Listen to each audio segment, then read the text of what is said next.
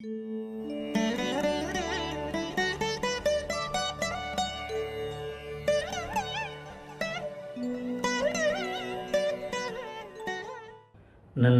வணக்கம். எல்லோரும் நன்றாக இருப்பீர்கள். ஏற்கனவே ஒரு ராசிகளின் சுபத்துவம் அப்படின்னு சொல்லிட்டு ஒரு வீடியோ போட்டோம்.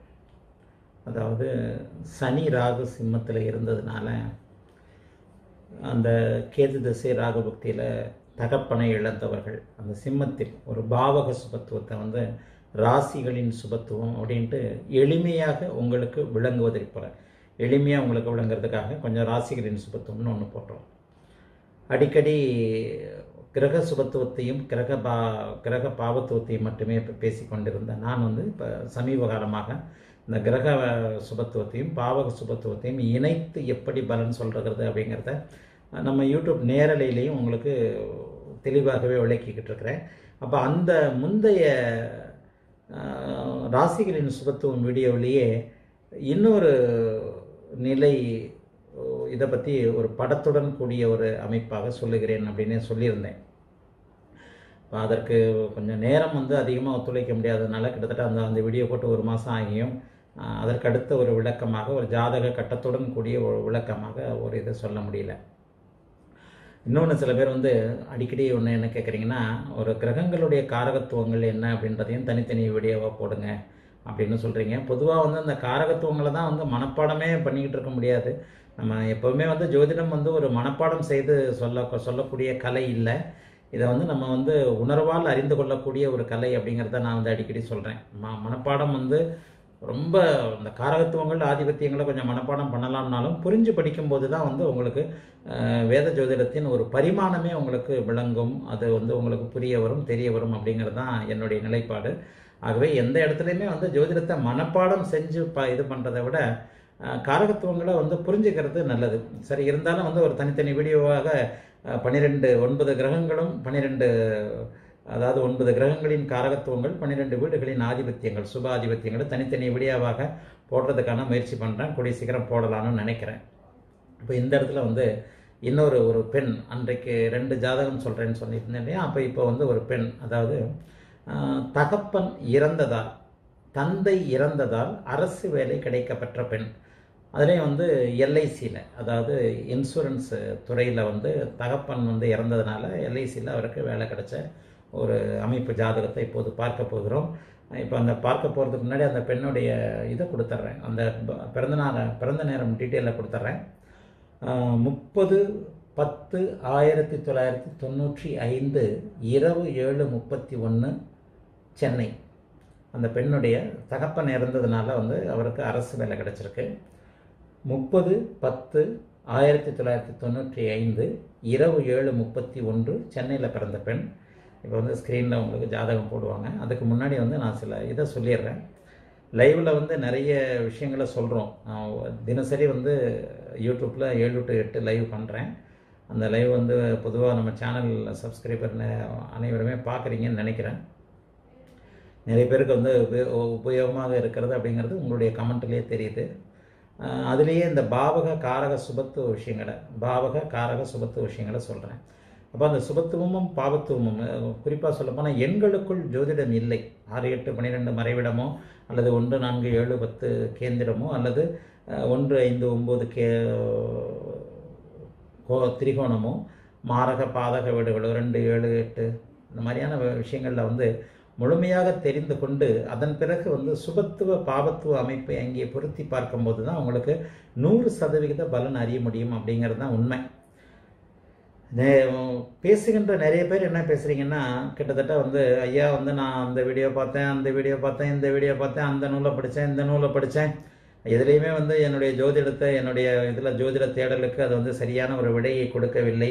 என்னுடைய கேள்விகளுக்கு எங்கேயுமே பதில் கிடைக்கவில்லை. தற்செயலாக உங்களுடைய வீடியோவை பார்த்தேன். அந்த உங்கள் வீடியோ பார்த்ததுலேருந்தே உங்களுடைய சுபத்துவ பாவத்துவ சு சுற்றுமூல தத்துவத்தை கொஞ்சம் ஓரளவுக்கு புரிய முடிஞ்சதுலேருந்தே வந்து என்னுடைய ஜாதகத்திற்கும் என்னை சுற்றி இருக்கிறவருடைய ஜாதகத்திற்கும் உள்ள நிலை என்ன அவர் ஏன் இப்படி இருக்கிறார் அப்படிங்கிறதுல உள்ள அத்தனை சுப சூட்சம விஷயங்களும் பிடி பிடிபட்டு போச்சு.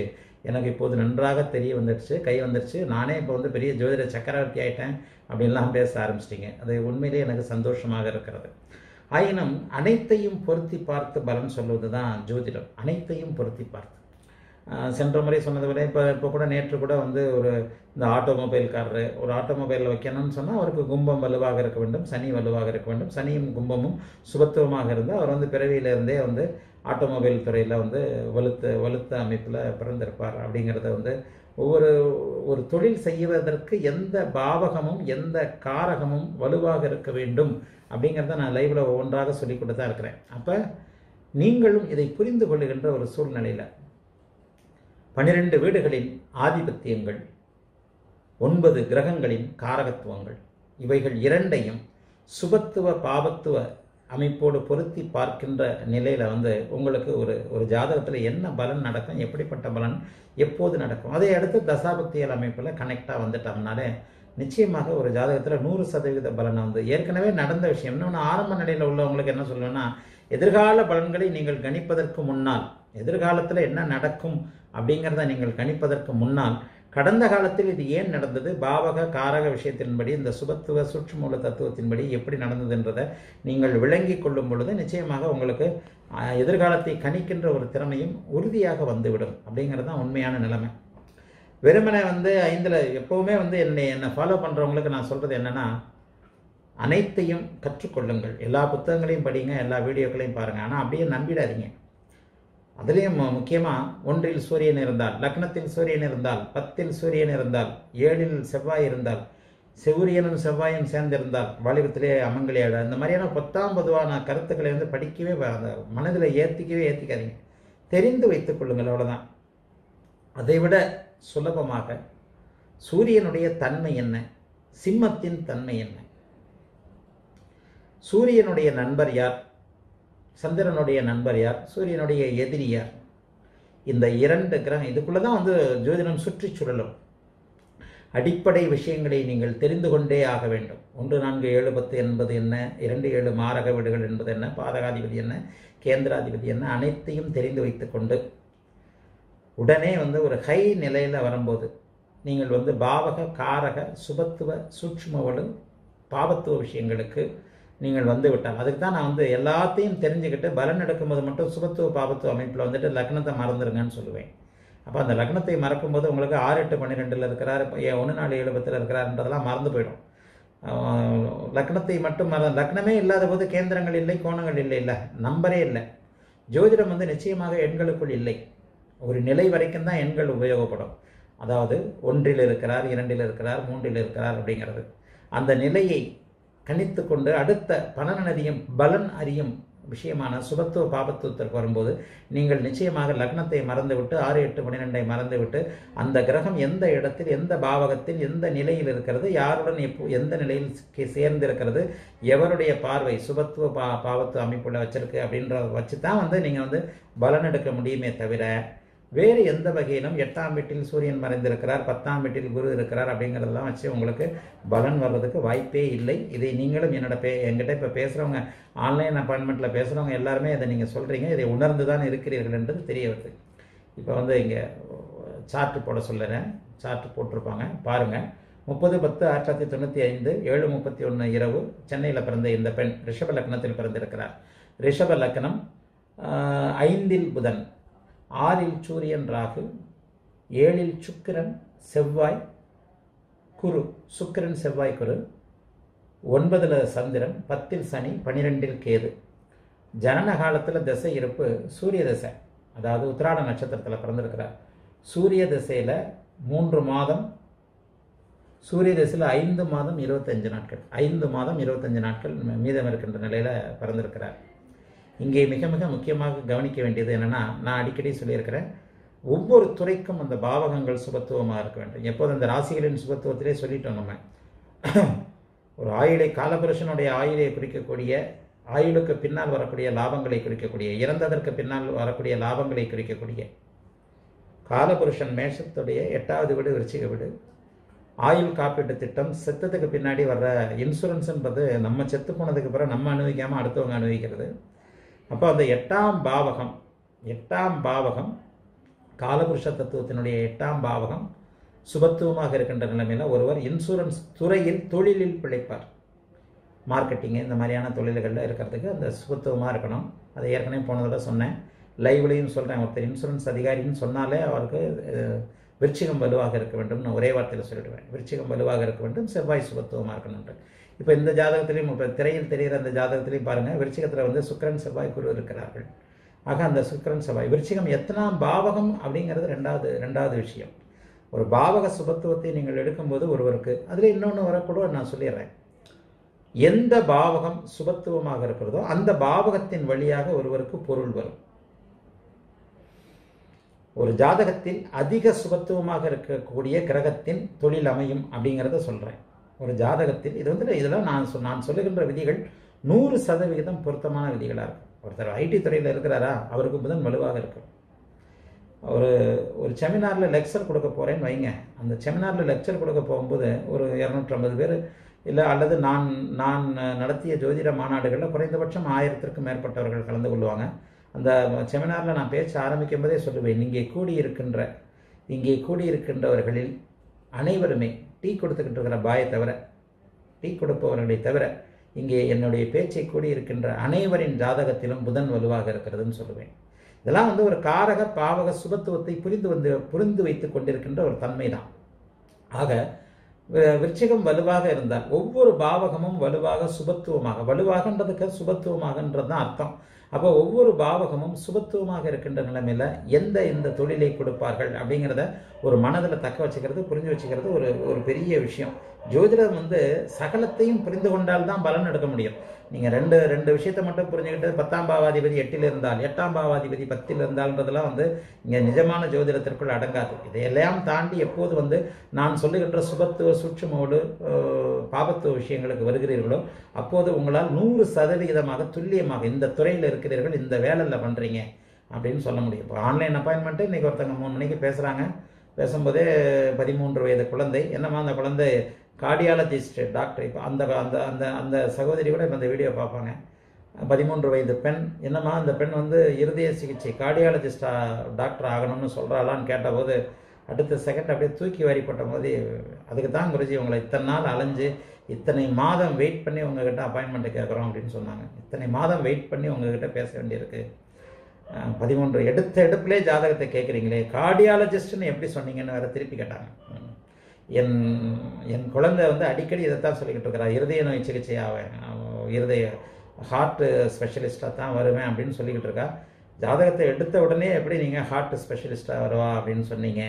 அப்படின்னு ஆசைப்படுறாளான்னு வேற என் வீட்டுலேயே உட்காந்துருக்கிற மாதிரி கேட்டிங்களே இந்த இந்த இந்த இந்த இந்த இந்த ஜாதகத்தை பார்த்தோன்னா எப்படி இதை சொல்ல முடிஞ்சது? அதை எனக்கு சொல்லிக் கொடுங்க. என் மகளுடைய பலன்லாம் அப்புறம் அப்படின்னாங்க. அதை அதையும் அதற்கடுத்து சொன்னேன். சூரியன் இந்த நிலையில் இருக்கிறதுனால. வளர்வரை சந்திரனுக்கு நேரெதிரே ஏழாம் இடத்தில் சூரியன் செவ்வாய் இருக்கிறதுனால ராசி லக்னம் ராசி லக்னத்தின் பத்தாம் இடத்தோடு சூரியன் குரு செவ்வாய் மூன்றும் தொடர்பு கொண்டிருக்கனால இந்த பொண்ணு பயாலஜி தான் படிப்பா. பதிமூணு வயசுலேயே அவளுக்கு அந்த ஆசைகள் வரும். இருதய நோய் சிகிச்சை ஆவார். சரி இதைத்தான் அப்படி சொல்கிறேன்னா இப்போ லைவ்லேயே வந்து நான் கிட்டத்தட்ட வந்து ஜாதகத்தை போடுறதுக்கு முன்னாடி இன்றைக்கு கூட லைவில் வந்து கிட்டத்தட்ட ஒரு குறைந்த ஜாதகங்களுக்கு தான் பலன் சொன்னேன். அதில் அனைத்து ஜாதகங்களுக்குமே அவர்கள் கேட்ட அமைப்பின்படி அவர்களுடைய ஜாதகம் எந்த நிலையில் இருக்கும் அப்படின்றத முன்னாடியே சொல்லிட்டு தானே நான் வந்து அடுத்த ஜாதகத்தையே போட ஆரம்பிக்கிறேன். அது நான் சொல்வது போல் நூறுக்கு நூறு சதவீதம் சரியாகத்தானே இருக்கிறது. நான் சொல்கிற ஒரு இந்த கிரகம் இந்த அமைப்பில் இருந்தால்தான் நீங்கள் இந்த கேள்வியை கேட்க முடியும் அப்படின்னு நான் சொல்கிறது எல்லா வகையிலும் நிரூபிக்கப்பட்டு தானே இருக்கிறது. அப்போ ஒரு வேதிக் அஸ்ட்ராலஜின்றதை ஒரு நம்ம தெளிவான வகையில் நம்ம புரிஞ்சுக்கிட்டோம்னு சொன்னால் இந்த வேதிக் அஸ்ட்ராலஜி எந்த இடத்துலையுமே அனுமான கலை சில பேர் என்ன வேதிக் அஸ்ட்ராலஜி சொல்லுவாங்க? அனுமான கலை ஒரு இப்படித்தான் இருக்கணும்னு யூகம் செய்யலாமே தவிர இப்படித்தான் நடக்கும் என்று உறுதியாக சொல்ல முடியாது. நிச்சயமாக கிடையாது. வேதிக் அஸ்ட்ராலஜியை புரிஞ்சுக்கிட்டிங்கன்னா இப்போ இப்போ நான் நான் சில இடங்களில் சொல்கிற மாதிரி கார்டியாலஜிஸ்ட்டு தான் அவங்க பொண்ணு ஆசைப்படுறாளான்னு கேட்குற மாதிரி உறுதியாக சொல்லலாம். எந்த ஒரு நிலையிலையுமே வந்து அந்த பாவக காரக ஆதிபத்தியங்களை ஓரளவுக்கு மனசில் தேக்கிட்டு எந்த நேரத்திலும் நூறு சதவீத பலன் சொல்ல முடியாது அப்படின்னாலும் கிட்டத்தட்ட ஒரு தொண்ணூறு சதவீத பலன்களை நிச்சயமாக எல்லா ஜோதிடர்களாலும் இப்போது நான் சொல்லுகின்ற சுபத்துவ சுற்றுமோட தத்துவங்களை புரிந்து கொள்கின்ற நிலையில் கண்டிப்பாக சொல்ல முடியும். சரி இப்போது இந்த இந்த சகோதரி வந்து எந்த எந்த நிலையில் தகப்பனை இழந்து தகப்பனை எப்படிப்பட்ட ஒரு சூழலில் இழந்து எல்ஐசியில் வந்து வேலை வாங்கியிருக்கிறாங்க அப்படிங்கிறத பார்ப்போம். இப்போ அந்த ஜாதகத்தில் பார்த்தீங்கன்னா விருச்சிகம் எல்ஐசி விளைக்கக்கூடிய விருச்சிகம் தான். இன்சூரன்ஸில் இருக்கக்கூடிய இன்சூரன்ஸில் பிழைக்கக்கூடிய அமைப்புக்கு சூரியன் ச- செவ்வாய் குரு அது வந்து விருச்சிகத்தில் வலுவாக இருக்கிறது. செவ்வாய் வந்து விருச்சிகத்தில் சுக்கிரன் குருவோடு சேர்ந்து இருக்கிறதுனால செவ்வாயின் துறைகளில் தான் இருக்கணும். இன்னொன்று ராசிக்கு பத்தாம் இடம் லக்னத்திற்கு பத்தாம் இடத்தோடு சூரியன் தொடர்பு கொள்ளும்போது தந்தையின் தொழில் அப்படின்ற ஒரு ஒரு அமைப்பு இருக்கிறது. தந்தையின் தொழில். சரி இந்த சகோதரி ஏன் தந்தை இழந்தார்? எப்படிப்பட்ட சூழலில் இருந்தார்? நான் ஜாதகத்தை பாருங்கள் ராகு திசை ராகு சனிபக்தி ஆஹ், ராகு தசை சந்திர அந்தரத்தில் இந்த இந்த சகோதரி தந்தையை இழந்திருக்கிறார் அங்கே ராகு ராகு இங்கே ராகு சூரியனோடு இணைந்திருக்கிறார். சூரியனோடு பன்னிரெண்டு டிகிரிக்குள்ளே இணைந்திருக்கிறார். ஸோ ராகு வந்து ஒரு டிகிரியில் இருக்கிறாரு. சூரியன் வந்து ஒரு பத்து பன்னெண்டு டிகிரியில் இருப்பார். பத்து பத்து பன்னிரெண்டு டிகிரிக்குள்ளே இருந்திருக்கிறார். ஆக எப்போது ராகு வந்து சூரியனோடு இணைந்திருக்கிறாரோ அப்போதே வந்து பாபத்துவமாக இருக்கின்ற நிலைமையில் அந்த ராகுவை இயற்கை சுவர்களான குரு தொடர்பு இல்லாத நிலைமையில் நிச்சயமாக தகப்பனை பாதிப்பார். தகப்பனை பாதிக்கின்ற ஒரு விஷயங்களை செய்வார். இங்கே ராகு ஆரம்பித்து சனிபக்தி ஆரம்பித்த உடனே தகப்பனுக்கு இயல்பான இயல்புக்கு மாறான விஷயங்கள் நடக்க ஆரம்பிச்சிடும் ரெண்டாயிரத்தி பதினெட்டில் ஆரம்பிச்சிருக்கோம். பாருங்கள் ரெண்டாயிரத்தி பதினெட்டில் ஆரம்பித்த உடனேயே இந்த பெண்ணிற்கு தகப்பன் ஏன்னா ஒன்பதாம் அதிபதி. அவர் அங்கே பத்தாம் வீட்டில் இருக்கிறார். அதோட சந்திர அந்தரம் மாரகாதிபதியாகிய சந்திரன் ரிஷப லக்னத்திற்கு நல்லதை செய்ய முடியாத மாரகாதிபதியாகிய சந்திரன் தன்னுடைய மாரக வீட்டையே பார்த்து அவர் அங்கே ஒன்பதாம் வீட்டில் இருக்கிறார். அப்போ வந்து மாரகாதிபதி ஒன்பதாம் வீட்டில் இருக்கும்போது ராகுதச சனி புக்தியில் இந்த ராகுதச சனி புக்தி சனிதச ராகுபக்தி அடிக்கடி சொல்கிறேன் இல்லையா? ராகுதச சனி புக்தி சனிதச ராகுபக்தி இந்த இந்த போன வீடியோவில் நம்ம என்ன சொன்னோம்? சனியும் ராகுவும் சிம்மத்தில் இருந்ததால். இங்கே அந்த சனி சிம்மத்தை பார்த்ததால். போன வீடியோவில் வந்து கேதுச ராகுபக்தியில் தகப்பனை இழந்த ஒரு ஜாதகத்தை பார்த்தோம். அப்போ அந்த அந்த ஜாதகம் வந்து சிம்மத்தில் இருந்தது சனியும் ராகுவும். எப்போது? ஒன்பதாம் பாவகம். சிம்மம் தகப்பனை குறிக்கக்கூடிய சிம்மம். தகப்பனின் காரகத்துவத்தை குறிக்கக்கூடிய சிம்மம். தகப்பனின் ஆதிபத்தியத்தை குறிக்கக்கூடிய ஒன்பதாம் இடம். இவைகளோடு சனி ராகு சம்பந்தப்படும் போது அந்த சனிதச ராகு புக்தி அந்த அல்லது அந்த சூரிய புக்தி சூரியன் வலுவாக இல்லாத நிலைமையில் இங்கே பார்த்தீர்களேயானால் ராசிக்கு பத்தாம் இடத்தில் ராசிக்கு எப்போவுமே திக்பலம் எடுக்கக்கூடாது. லக்னத்திற்கு தான் திக்பலம் எடுக்கணும். நான் மறந்தும் கூட ராசிக்கு இந்த நிலத்தில் இருக்கிற திக்பலம்னு சொல்ல மாட்டேன். சில விஷயங்கள் லக்னத்திற்கு மட்டுமே பொதுவானவை தசாபக்தி அமைப்புகளைப் போல. ராசி வலுவிழந்து லக்னம் வலுவிழந்து ராசி வழிநடத்தும் ஜாதகமாக இருந்தாலும் உங்களுக்கு வந்து தசாபக்தி அமைப்புகள் லக்னப்படியே நடக்கும் அப்படிங்கிறத மிக தெளிவாக சொல்லுகிறேன். அதே போ அதை போலவே திக்பல அமைப்பும் லக்னத்திற்கு தான் நீங்கள் எடுக்க வேண்டுமே தவிர ராசிக்கு அந்த திக்பலம் அப்படிங்கிறத எடுக்கக்கூடாது சில பேர் கோட்சார ரீதியில் கூட திக்பலம் சொல்கிறாங்க கோட்சாரத்திலும் திக்பலம் கிடையாது. சரி அப்போ இந்த அமைப்பில் சூரியன் நீச்சமாக இருக்கிறார். சிம்மத்தை சனி பார்க்கிறார். அந்த சனி சுபத்துவமின்றி இருக்கிறார். ஆக சிம்மம் பாதிக்கப்பட்டிருக்கிறது. அப்போ அந்த சிம்மம் பாதிக்கப்பட்டிருக்கிறது எப்போது நடக்கும்? பாதிக்கப்பட்ட கிரகத்தின் தசாபுக்திகளில் நடக்கும். பாதிக்கப்பட்ட கிரகத்தின் தசாபுக்திகளில் நடக்கும். இங்கே பாவகமும் காரகமும் பலவீனமாகிவிட்டன. பாவகம் ஒன்பதாம் பாவகம் மாரகாதிபதி இருக்கிறார். ஒன்பதாம் பாவகத்தில். ஒன்பதாம் பாவகாதிபதி பத்தாம் வீட்டில் உட்காந்து பாபராகி அமர்ந்து முழு பாபராகி செவ்வாயின் பார்வையையும் பெற்று சனிக்கு செவ்வாய் பார்வை கூடாது குருவுக்கு செவ்வாய் பார்வை இருக்கலாம் சந்திரனுக்கு செவ்வாய் பார்வை இருக்கலாம் சூரியனுக்கே செவ்வாய் பார்வை இருக்கலாம் அந்த நண்பர்கள் அமைப்பு இருக்கலாம். ஆனால் சனிக்கு செவ்வாய் பார்வை இருக்கக்கூடாது. இங்கே செவ்வாய் சுபத்துவமாகி பார்க்கிறாரே அப்படின்னாலும் சனியை பார்க்கும்போது அவர் செவ்வாய் செவ்வாய் தான். அது ஒரு பாவத்துவ அமைப்பு தான். இல்லையா? பாவத்துவத்தின் சுபத்துவம் அந்த கிரகம் சுபத்துவமாக இருக்கிறதே தவிர அந்த கிரகம் சுபராகி விடவில்லை. அதாவது இங்கே செவ்வாய் சில பேருக்கு ஒரு டவுட் இருக்குது என்னென்னா செவ்வாய் சுபத்துவமாய் தானே பார்க்கிறார். சரி செவ்வாய் குரு சுக்கரனோடு இணைந்து சுபத்துவமாக இருக்கிறார் ஆனால் இந்த செவ்வாய் குருவாகவோ சுக்கரனாகவோ மாறிவிடவில்லையே. சுபத்துவத்தின் படிநிலைகளையும் நீங்கள் ரொம்ப தரவாக புரிஞ்சுக்கிட்டா தான் பலன் வந்து துல்லியமாக வரும். எத்தனைக்கு எத்தனை பாபத்துவமாக இருக்கிறார்கள் எத்தனைக்கு எத்தனை சுபத்துவமாக இருக்கிறார்கள் அப்படிங்கிறதையும் ஓரளவுக்கு தெளிவாக புரிஞ்சுக்கிறது. மிக மிக சுபத்துவ சூட்சுமோட தேரியில் ரொம்ப ரொம்ப பெரிய ஒரு உண்மை. ஆக இந்த அமைப்பின்படி தகப்பனை குறிக்கின்ற காரக கிரகமான சூரியன் நீச்சமாகி. அதே நேரத்தில் ராசிக்கு பத்தில் அரசாங்க வேலை அமைப்பில் அமர்ந்து. ஜடகாரகத்துவம் உயிர்காரகத்து ஒன்றதை கொஞ்சம் புரிஞ்சுக்கிறது இங்கே நல்லது. ஒன்பதாம் சிம்மம் அதற்கடுத்து தகப்பனை குறிக்கின்ற சிம்மம் காரக வீடாகிய சிம்மத்தை பாபத்துவ சனி பார்த்து எந்த விதமான சுபத்துவ அமைப்பும் இல்லாத சனி பார்த்து. சூரியனோடு ராகு இணைந்து ராகுதசை வந்த உடனே தகப்பனுக்கு கண்டம்ன்றது தெளிவாக இருக்கணும். ராகுதசை வந்த உடனே அந்த ராகுதசையில் அவரை வந்து தகப்பனை கெடுப்பார். இதில் என்ன? ராகுதசை சூரிய புக்தியில் கெடுப்பாரா? ராகுதசை சனி புக்தியில் கெடுப்பாரா? என்னன்னா பாவகமோ காரகமோ அங்கே சம்பந்தப்பட வேண்டும். பாவகமோ காரகமோ அங்கே சம்பந்தப்பட வேண்டும். கணிக்க வேண்டியது என்ன? ராகுதிசை தகப்பனை கண்டப்படுத்தும் அதாவது உயிரிழக்க வைக்கும். இந்த பெண்ணிற்கு ராகுதிசையில் தகப்பன் உயிரோடு இல்லை என்பது தீர்க்கமான ஒரு விதி. ராகுதிசை சூரிய புக்தியிலையா அல்லது ராகுதச சனி இல்லையா? ரெண்டுக்கும் என்ன வித்தியாசம்? ராகுதச சூரிய பக்தி காரக அமைப்பில் தகப்பனை கிடைக்கும். ராகுதச சனி பக்தி பாவக அமைப்பில் தகப்பனை கிடக்கும். ரெண்டையும் புரிஞ்சுக்கணும். ஏன்னா இங்கே ஒன்பதாம் அதிபதி சனியாக வருகிறார். அவர் அங்கே சிம்மத்தை பார்க்கிறார். இங்கே தகப்பனை குறிக்கின்ற பொதுவான கிரகமாக சூரியன் வருகிறார். அங்கே அவர் சனியின் பார்வை செவ்வாய் பார்வை இன்றி ராகுவோடு பதினோரு பனிரெண்டு டிகிரிக்குள் இணைந்து நீச்சனுமாகி நீச்சனுமாகி சந்திர கேந்திரத்தில் அமர்ந்து ராகுவோடு சேர்ந்து மிகவும் பலவீனமாக இருக்கிறார். இங்கே நீச்சபங்கம் அப்படின்னு நீங்கள் வந்தீங்கன்னா கூட நீச்சபங்கம்னு நீங்கள் வந்தீங்கன்னா கூட அது வந்து ஒரு வகையில் தான் அது இதாகுமே தவிர நீச்சன் நீச்சன் தான் ஆக இந்த அமைப்பில் ராகுதச சூரிய புக்தி மட்டுமே ராகுதச சூரிய புக்தி தான் அவரை கெடுக்குமா? ராகுதச சனிபுத்தி தான் கெடுக்குமான்றது ஒரு அமைப்பு.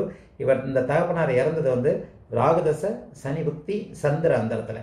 அப்போ அங்கே மாரகா அதிபதியாகிய ஒன்பதாம் இடத்துல மாரகாதிபதிகள் எந்த பாவகத்தில் இருக்கிறார்களோ அந்த பாவக அமைப்பை மாரகம் செய்வார்கள். சந்திரன் லக்னத்தில் இருந்தால் அவரை மாரகம் செய்வார். சந்திரன் லக்னத்தில் இருந்தால் ஜாதகரை மாரகம் செய்வார். சந்திரன் நான்கில் இருந்தால் பாவத்துவமாக தான் பாவத்துவமாக நான்கில் இருந்தால் தாயாரை மாரகம் செய்வார். ஒன்பதில் இருந்தால் தகப்பனை மாரகம் செய்வார். மூன்றில் இருந்தால் இளைய சகோதரனை சகோதரனை மாரகம் செய்வார்.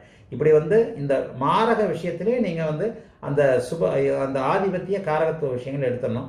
ஆக இந்த அமைப்பின்படி இந்த இந்த பெண்ணிற்கு ராகதசை சனி ராகதச சனிபக்தி சந்திர அந்தரத்தில் தகப்பன் இறந்ததற்கு பிறகு இந்த பெண்ணிற்கு அரசாங்க எல்ஐசி அமைப்பான அரசாங்கத்தில் தகப்பனாரின் வேலை அவருக்கு வந்து விருச்சிகம் சுபத்துவமாக இருக்கிறதுனால அவருக்கு வந்து அந்த தகப்பனாருடைய வேலை கிடைச்சது. இதுதான் வந்து ஒரு மிக மிக முக்கியமான ஒன்று. உள்ளுக்குள்ளே நீங்கள் வந்து அந்த டிகிரி வைஸ் போய் பார்த்தீங்கனால எல்லாத்தையுமே வந்து ஒரு வீடியோவில் சொல்ல முடியாது. நான் டேட்டா பற்றி இதெல்லாம் சொல்லிட்டேன். ஜாதகமும் உங்களுக்கு போட்டு தெளிவாக இருக்கிறது. இதனை எடுத்து நீங்கள் ஆராய்ச்சி பண்ணுறவங்க ஏன் வந்து நான் சொன்ன அந்த சந்திர பக்தியில் அந்த மரணம் நடந்தது? அதற்கு பிறகு எப்படி இந்த பொண்ணுக்கு வேலை கிடைச்சது? சரி வேலை கிடைச்சது அரசு வேலை கிடைச்சதுக்கு எப்படி? சிம்மம் வலு வலுவில்லாமல் இருக்கும்போது எப்படி அரசு வேலை கிடைச்சது? இன்சூரன்ஸ்ன்றது நேரடி அரசு பதவி இல்லை. நேரடி அரசு பதவி தாசில்தார் விஏஓ அரசை நிர்வாகம் செய்கின்ற பதவிக்கு சிம்மம். ஒரு உதாரணமாக இபி வேலை. எலக்ட்ரிக் அதாவது பொதுத்துறை நிறுவனமான மின்சார வாரியம் இருக்கு இல்லையா? குடிசை மாற்று வாரியம் மின்சார வாரியத்தில் வேலை செய்கிறவங்களுக்கெல்லாம் கூட சிம்மம் வலுத்திருக்கணும்னு அவசியம் இல்லை. சர்வீஸ் ஓரியன்ட் ஜாப்பை வந்து அடிக்கடி சொல்கிறேன் சிம்மம் வலுத்து சிம்மாதிபதி வலுத்திருக்கும் போது அவர் பொதுப்பணித்துறை மாதிரியான அதிகாரம் உள்ள உள்ள ஆட்சி உள்ளாட்சித்துறை கலெக்டர் தாசில்தார் இந்த மாதிரி நேரடி நிர்வாக பதவிகளில் அவங்க கண்டிப்பாக இருப்பார்கள். அந்த நேரடி நிர்வாக பதவின்றது உறுதியாக கிடைக்கும். சிம்மம் வலுவில்லாமல் இருக்கும்போது சூரியன் மட்டும் பத்தாம் இடத்தோடு ராசி லக்னத்திற்கு பத்தாம் இடத்தோடு தொடர்பு கொள்ளும்போது சூரியன் ஒரு நிலையில் சுபத்துவமாக இருக்கும் பொழுது அவர்களுக்கு அரசு சேவை பதவி கிடைக்கும். மருத்துவர் கூட வந்து அரசு சேவை பணியாளர் தானே தவிர அவர் வந்து ஒரு நிர்வாக பணியாளர் அல்ல. ஆக நிர்வாக பணியாளராக ஒருவர் அமைவ அமர்வதற்கு சூரியன் கண்டிப்பாக தேவை. இப்போ இந்த அமைப்பில் பார்த்தீங்கன்னா சிம்மத்தை சனி பார்த்து இவர் அரசு துறை பொது நிறுவனமான அரசு சம்பளம் வாங்குற எல்ஐசியில் வேலை செய்கிறார் அவ்வளோதானே தவிர வேறு எந்த விதத்துலையும் அவர் வந்து அரசாங்க ஊழியர் இல்லைன்னு இல்லைன்னே சொல்லிடலாம். ஆகவே இந்த அமைப்பில் சிம்மம் சுபத்துவமின்றி இருந்து சிம்மாதிபதி மட்டும் சுக்கரனுடைய வீட்டில் உட்காந்து ராசிக்கு பத்தாம் வீட்டில் உட்காந்து ராகுவிற்கு பதினோரு டிகிரி விலகி இருக்கிறதுனால இவருக்கு ராகு தசையில் ராகு அவருடைய அமைப்பின்படி தன்னுடன் இணைந்த கிரகத்தின் பலனை செய்வார் அப்படிங்கிற அமைப்பின்படி தகப்பனை கெடுத்து பன்னு பத்து பன்னெண்டு டிகிரிக்குள்ள கெடுத்து இருக்கிறார் இல்லையா? அப்போ சூரியனுடைய பலனையும் சுக்கிரனுடைய பலனையும் அவர் செய்தாக வேண்டும் அப்படிங்கிறது விதி. இங்கே சுக்கிரனுடைய காரகத்துவம் ஆறாம் இடமாகி லக்ன ஆறாம் இடமாகி ஆறாம் இடம் என்றது என்ன? அடிமை வேலை நல்ல வேலை. சுக்கரன் வலுத்திருந்தா சுக்கரன் நல்ல அமைப்புகள் இருந்தா இயற்கை சுவருடைய வீடுல தானே ராகு இருக்கிறார். அப்ப இயற்கை சுவருடைய வீட்டில் இருக்க வேண்டிய ராகு இருக்கிற இருக்கின்ற ராகு அவருடைய வாழ்நாள் முழுக்க கிட்டத்தட்ட அறுபது வயசு வரைக்கும் அடிமையாக இருக்கக்கூடிய ஒரு அமைப்பை இருபத்தி ஐந்து வயதிலேயே அதுக்கு தான் நான் அடுத்த முப்பத்தஞ்சு வருஷம் நல்ல யோக தசை வரணும்னு சொல்லுவேன். இப்போ பாருங்க அதுக்கு அடுத்து வந்து குரு தசை ராகு தசைக்கு அப்புறம் குரு சுக்கரனும் சுக்கரனும் இதோடு சேர்ந்து தன்னுடைய எட்டாம் வீட்டிற்கு பன்னிரெண்டில் மறைந்த கு- குரு அதனை அடுத்து சனி ஆக முப்பத்தஞ்சு வருஷங்களுக்கு குரு சனி தசை வரப்போகுது. சனி தசை எப்பவுமே நல்ல பலன்களை செய்யும் யோக பலன்களை செய்யும் சனி தசை அப்படின்றதான் சொல்கிறேன் ஆக இந்த அமைப்பில் சரி அப்போ சனி தசை தான் யோக பலன்களை செய்யும்ல அப்புறம் எப்படி தகப்பனை கெடுத்தது? கேட்கக்கூடாது. அது கேள்வியே தப்பு. எப்படி தகப்பனை கெடுத்தது? ஏன் அப்பாவை மட்டும் வாழ்க்கையில் அப்பா முக்கியம் இல்லையா? எந்த ஒரு தசாநாதன் எந்த ஒரு புக்திநாதனும் தசாநாதனுக்கு அடங்கியவன். அந்த இதை ஞாபகம் வச்சுக்கணும். எந்த ஒரு புக்திநாதனும் தசாநாதனுக்கு அடங்கியவன். இங்கே ராகு சூரியனுடன் இணைந்து சூரியனை கவர்ந்து தகப்பனை கெடுத்து உயிர்காரகத்துவமான தகப்பனை கெடுத்து ஜடக்காரகத்துவமான அரசு வேலையை கொடுக்கின்ற நிலைமையில் இருக்கும்போது எத்தனை யோகாதிபதிகள் லக்னாதிபதியாகவே இருந்தாலும் ராகுவிற்கு அடங்கிதான் பலன் தருவார் அப்படிங்கிறது தான் ஒரு விதி. ஆக இந்த அமைப்பை வந்து நீங்கள் தெளிவாக புரிஞ்சுக்கிட்டீங்கனாலே இந்த பாவக காரக சுபத்துவ விஷயங்களை வந்து மிக தெளிவாக புரிந்து கொள்ள முடியும். இங்கே ஆறாம் இடத்தில் ராகு சுபருடைய வீட்டில் சூரியனோடு இணைந்திருப்பதால் ஒரு நீடித்த நல்ல வேலையாக சொல்லப்படக்கூடிய பாதுகாப்பான வேலையான அரசு துறை பொது நிறுவனமான எல்ஐசியில் வந்து இந்த பெண்ணிற்கு தகப்பனை கெடுத்து தந்தார். சிம்மம் வந்து இங்கே வலுவாக இருக்கணும்னு அவசியம் இல்லை. ஏன்னா நேரடி அரசு உத்தியோகம் கிடையாது. ராசிக்கு பத்தாம் இடத்துல சூரியன் இருக்கிறதுனால அரசு வேலை கிடைத்திருக்கிறது. இந்த அரசு வேலை இந்த பெண்ணிற்கு நீடிக்கும். இந்த ஜடக்காரகத்துவம் உயிர்காரகத்துவம் அமைப்புகள்லாம் இதில் வந்து செயல்படும். அந்த அந்தர வரைக்கும் சொல்லிட்டேன். ஆகவே வந்து எப்படிப்பட்ட சூழலில் ஒரு ஆராய்ச்சி பண்ணணுமோ அந்த அந்த இதுக்கு நீங்கள் நான் இப்போ சொல்லியிருக்கின்ற விளக்கத்தை வைத்து நீங்கள் வந்து புரிந்து கொள்ள முடியும். அடுத்தடுத்து வந்து பாவக காரக சுபத்துவ வீடியோக்களை இது போன்ற வீடியோக்களை ஒரு விளக்க வீடியோக்களை பார்க்கலாம். மீண்டும் அடுத்த ஒரு வீடியோவில் வந்து இதே இதே போன்ற ஒரு ஜாதக விளக்கத்துடன் கூடிய ஒரு இதை பார்க்கலாம். சரியா? ஓகே. வாழ்த்துக்கள். எல்லோரும் நன்றாக இருப்பீர்கள்.